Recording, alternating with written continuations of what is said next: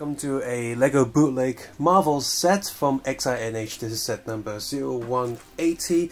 On the left hand side here we have uh, Odin, we have Kaecilius, uh, Netflix version of Daredevil and Punisher, we have comic book version of the Shocker, I think that's the Shocker, uh, Spider-Man Homecoming soon, I'm going to compare this with the Decool and the DLP version, and we have the two other Thieves that were not released by LEGO, uh, this is the Thor Thief and the Iron Man Thief.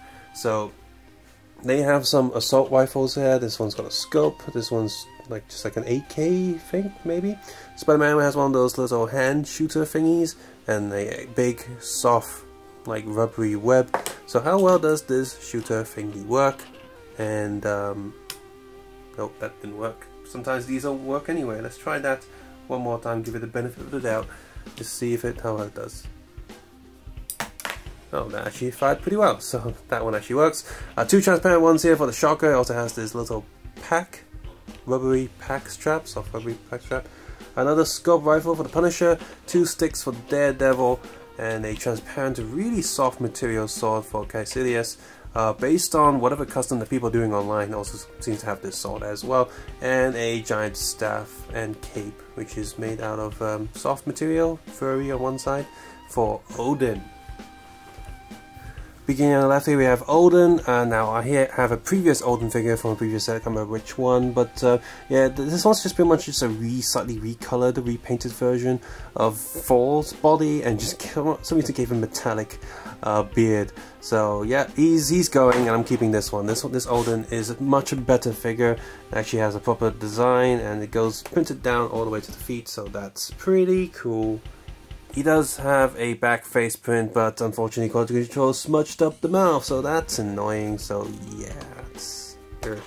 And then we have uh, Kaecilius here from uh, Doctor Strange. He was not released in any LEGO set. So this figure's picking up the slack, because in the uh, actual LEGO set you got Doctor Strange, you got uh, the Ancient One, and you got, um, forgot his name, the, the, the guy that trains him.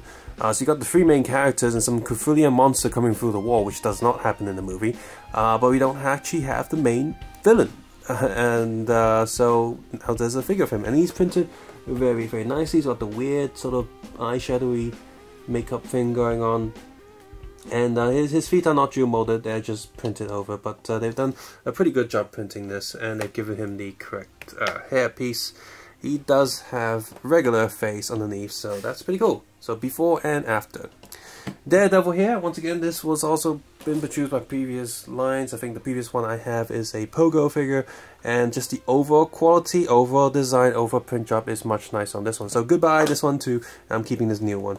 Um, yeah, Grumpy look, very nice suit painting, and it's actually some dotted textures here. Don't even see that in the video to uh, give it that um, some modern suit design look to it.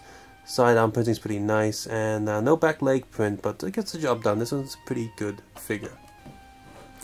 Punisher here, uh, again, I do have a previous Punisher figure from different wave, but I think they're both different enough, like one's a season 1, or, or one's Punisher season, one's actual look of him. So I'm to keep both. Uh, I like this one uh, a lot as well, just the whole sort of jacket, like a long jacket design is pretty nice. Now, he does have a black eye here, and he doesn't have a good face, so that's a little bit annoying. It would have been nice if he had a proper uh, face on the back as well, but he doesn't have that, so that kind of sucks. Uh, Spider-Man Homecoming suit, now he's actually dual molded. Just look quick look at the back there, you can see it's double molded. Again, no hood down piece, but does have a hood up piece. So we just remove that. Uh, his overall coloring feels a little bit undersaturated, like a little bit grayed, grayed out and stuff. Uh, his arm piercing doesn't have any metallic coloring, but um, just for the dual molded legs alone, that's pretty awesome. So if you were to compare this with the Decool and DLP one, uh, this hood's pretty nice.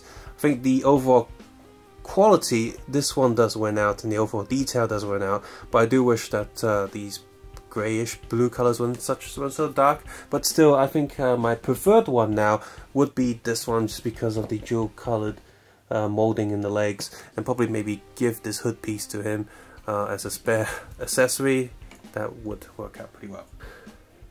Next up we have the two V's and the Shocker, uh, comic book Shocker. Uh, the two V's look good enough. I don't expect them to look super detailed because they're like little minor characters and they have basic print on the back, no hair pieces or whatsoever, but they get the job done. And if you do have the Spider-Man set with the other two V's, definitely pick this one up and just add these two to it. This is a very much a filler set because uh, you got Kaecilius to fill in your Doctor Strange set if you feel like there's something missing there.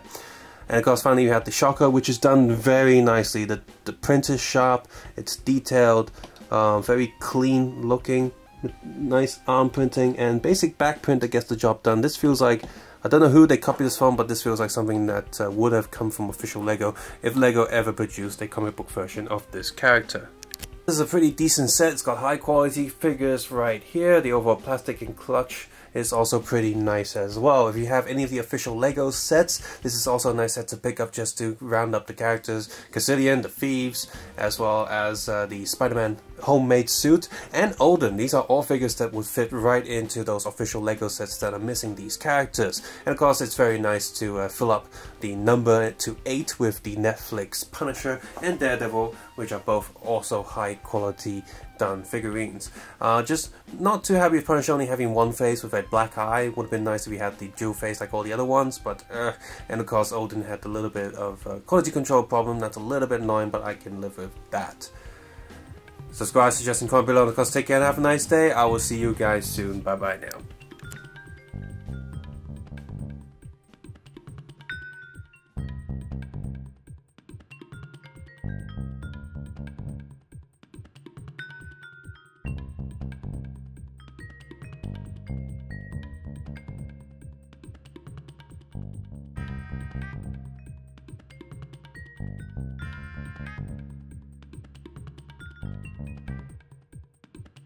you